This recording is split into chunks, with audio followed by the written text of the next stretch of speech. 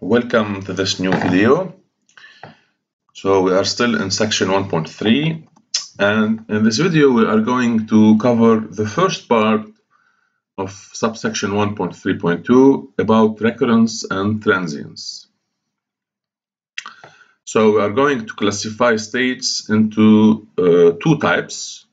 So let us start with a definition. So if you have a homogeneous Markov chain on a state uh, space S, we set, so for each state i in S, we denote by t sub i the smallest integer n bigger or equal than 1 for which x of n equal i if this is not empty. If this is empty, we set naturally ti to be plus infinity. So ti is a random variable taking, taking values in n star union infinity. And we call this uh, random variable the time of first return to state i, le temps de premier retour à l'état i. So let us, before continuing, uh, observe three things. So what is the event ti equal n? If ti equal n, it means that x1 is different from i. If n, so suppose that n is bigger or equal than 2. Okay. So it means that x1 is different from i, x2 different from i, xn different from i, and xn equal i. Okay, so this is, so if you follow uh, the evolution of the system, we could start with state i, but the next time it will be different up to the nth, at the nth step, we reach the state i. If n equal 1, what does it mean that ti equal 1? It means that if I start with i, the next time I will be in i. Okay? And usually we are interested in the conditional probability that ti equal n given that x0 equal i. Okay? So when when the, the time of first return is 1, then this means that x1 equal i. So this is the first observation. Second observation, what does it mean that ti is infinity? It means that this set is not empty. So there exists at least one n such that xn equal pi. So this event can be written as the union of, of the events xn equal i. And or if you like, it's the disjoint union of the events ti equal n for some integer n. Okay, so we are in this case here. And if I take the complementary event, because ti is either finite or plus infinity, so the complement of this the complement of the union is the intersection of the complement. So it's the intersection of all events x and different from i. And if I take the complement of this union, I get the intersection. So De Morgan's law. Okay. Now, I will give it another definition and then I will give an extensive example. So let Fii denote the probability that starting from state i, the process will ever re-enter state i. Then what is Fii? It's exactly the probability that Ti is finite. So we are not in the second case. Okay, or if you like, it's one minus the probability, the conditional probability, of course, because you are starting from in state i. So these two events are complementary. Okay, because Ti are either finite or infinity. Okay, and now, so of course, we already observed that this event is the union, is the disjoint union of the events ti equal n. And therefore, by disjointness, I can write this as a summation, okay, because these events are disjoint. Okay, and now we say that state i is recurrent if fii is 1, which means that with probability 1, the system will revisit uh, the state i another time. And if not, we say that it's recurrent. So there is a positive probability that uh, the system will never return to state i again. So saying that FII is less than 1 or state i is transient, transitoire, transient. So saying that FII is less than 1 is equivalent to saying that P of Ti equal plus infinity given that x0 equal i is positive. So same thing. Okay, so there's a positive probability of leaving the state and never going back to it. Now let us illustrate these concepts on a simple uh, problem. So we have a Markov chain on the state 0, 1, 2, 3, 4. And the transition matrix is given by this. Now, the transition matrix, if you look at this, you cannot really analyze what's happening. So you have to draw the transition graph to understand better what is happening here. So if you look at the transition graph, you will see, I hope, that there are two communication classes. 0, 1 is a class, and 234 is another class. And they don't communicate. So there's one-way um, uh, arrow from this class to this class. So as you observe, if, if you start, for example, from state 0, we can, for some time, uh, remain in the class 0, 1. So one possible uh, path will be 0, 0, 1, 1, 0, 1, 0. Okay. But ultimately, we will leave the class 0, 1 and remain in the class 2, 3, 4. So it should be clear for, for you that the class, all the elements in the class 0, 1 are transient because once we leave them, there's a probability, the positive probability of leaving the state 1, for example, and never going back. But once we reach the class 2, 3, 4, we will remain there forever. Okay, so state 0 and 1 intuitively are uh, transient and states 2, 3, 4 are recurrent. Okay? But I want to illustrate the concepts of this TI and so on. So I will prove by going back to the definition that state 0 is uh, transient, state 1 is transient, and the others, the other states are recurrent. Okay? And we'll, we shall see later that actually the property of being recurrent or transient is a class property. So if in one class, one state is recurrent, all the other states in the same class will be the same, of the same type. Okay? But let us illustrate our concepts on, so step by step. So let us consider first state zero. Okay, if we look at the event x1 equal 1 and x2 equal 2, so what does it mean actually? It means that, uh, okay, x0 could be 1 or 0, doesn't matter, but the next, state, the next step, I will be in 2. If the next step I will be in 2, I will never go back. So the this event, if this event happens, that the, the time of first return to state 0 is plus infinity. Okay? So the probability of this event, the conditional probability starting from zero, this is what we are interested in actually, is bigger than this probability.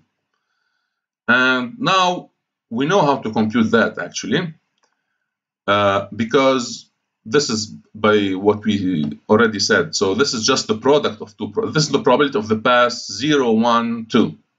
Okay, so it's just we multiply. We already proved this, and so it's P01 times P12.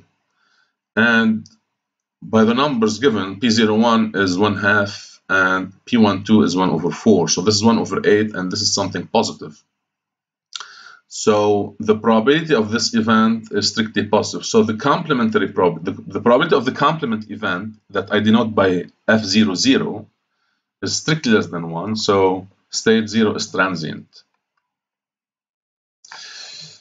State 1, of course, we later we are not obliged to do this at every time if I give you an exercise like this, but uh, because since zero and one communicate, we'll see later that state state zero is also state one is also transient. But let us prove it directly. So, what is the the event x1 equal to if if x1 equal 2, so the system at, at time 1 is 2, then it will never go back to state one. Right? So go back to the figure. If we are here at time n equal one, then there's there's a zero probability actually to come back to state one actually, right? Because it's a one way. And therefore, the probability that T1 is plus infinity, given that x0 equal 1, right? This is, as you observe, this is, we observe that this event is equal to this event, okay? But this event, so the intersection of all xn different from 1 contains x1 equal to. So the probability or the conditional probability of the intersection of all xn different from 1 is bigger or equal than the conditional probability that x1 equal to. And this is just the transition probability from 1 to 2, which is 1 over 4. So once again, we see that f11 is strictly less than 1, and so state 1 is also transient. Okay. State 2 if T2 is plus infinity, so we never go back to state 2, it means that if you look at the graph, if we never go back to 2, then what does it mean? It means that the system will wander, will be bouncing from state 3 and 4, 3, 4, 3, 4, 3, 4, 3, 4. We, we never go back. So So this event is contained in the event x1 equal 3, x2 equal 4. So this is the path 3, 4, 3, 4, 3, 4, etc. up to 2n plus 1. And therefore, the conditional probability of this event is less than the conditional probability of the event starting from state 2. But I can compute actually this the probability of this path, as we learned in section 1.1. This is just the product of the transition probability. So from 2 to 3, To 3. And then, so yeah, from 2 to 3. Then 3, 4, 3, 3, 4, 3, 3, 4, 3. So, so you will convince yourselves that, so I have to multiply P34 times P43 n times because I have 2n plus 1 here. And if you compute these probabilities, you will find 1 over 2 to the n. And this tends to 0 as n tends to infinity. So therefore, the probability that T2 is plus infinity is 0. So necessarily T2 is finite uh, starting from 2. So this means that state 2 is recurrent by going back to the definition. Okay, and I can do a similar discussion for state 3. Okay, now consider the event T3 equal 2 which means that uh, the time of first so the time of first return uh, to state 3 is in two steps. So let us go back so keep in mind always the figure. So what is the probability is that starting from 3 we will go back to 3 in two steps. If you look at this this is the sure event because if you are in 3 then we have two possibilities. Either we go to 2 and then we necessarily go back the next step to 1, so two steps, or we move to 4 and then we necessarily go back to 3. So the probability that T2 equal 3 is 1 actually. And this is a consequence of the total probability formula, if you like. But it's, it's better to understand it on the figure actually. So for small systems, a graphic, uh, graphical analysis is possible and I encourage you to do that. So what we proved is that the condition probability that stating from three uh, from state three will go back in exactly two steps is one, and therefore the probability that T3 is finite starting from state three is which is bigger actually than this probability is also equal to one because it's it's between one and one. So this is the proof that state three is recurrent. Now for state four, uh, what is the probability? So let us go back to the figure. If we start from state 4, so what are the in how many in how many may I will return to state 4 but there are many possibilities so I can do 4 3 4 or or 4 3 2 3 4 okay so this completes the list actually so so either I go back I return to state 4 in two steps, or in four steps, or in six steps. There are no other possibilities. Okay? So the first event is 434, as I said. The second event is 43234, and so on. And I can compute exactly the probability of these paths. Okay, so if I start from 4, so P43 is 1 times P34 is 1 half. So this is the probability of the first path. Second path, P43 1, P32 uh, 1 half, uh, P23 1, and P34 1 half. So the first term is 1 half, the second term is 1 half times 1 half, and so on.